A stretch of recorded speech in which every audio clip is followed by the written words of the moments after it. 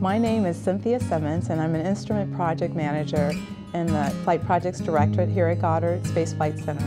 And I specifically work project management over in-house instruments, and the mission I'm working is ICESat Atlas.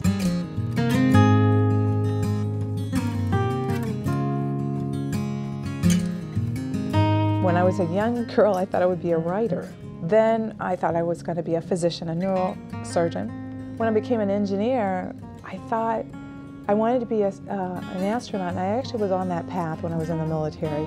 I never imagined in my time or my experiences that I would be given the opportunities that I've been given to work all these incredible missions. I never dreamed that.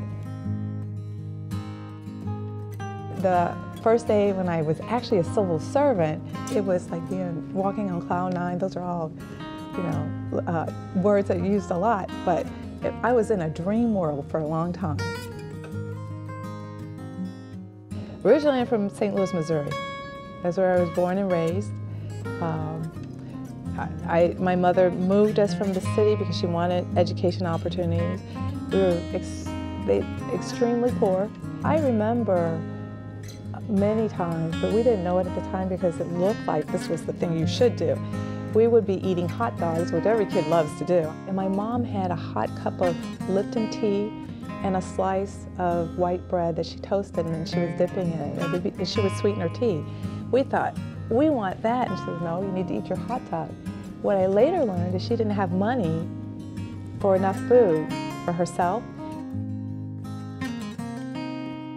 What I feel most grateful for and most excited about what I've done here um, I've been able to participate in a lot of different missions, and not only size, but scope of science, where they're going into space, what they're doing, and I've been able to participate in the designs, as well as leading teams who are designing.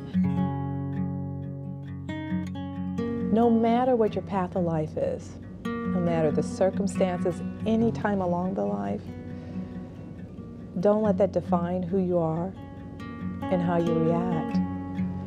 And use that to enjoy life. I have learned in all the experiences that it's really important to learn how to uh, love life, appreciate what you have, to learn how to enjoy every moment, appreciate every opportunity, seek the next opportunity, make sure when you, I always say when I open a door, I want to make sure there are at least two doors behind there.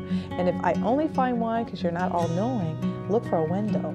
So you have at least two paths onto the next thing. And uh, don't let where you are right now constrict where your vector has to go in life.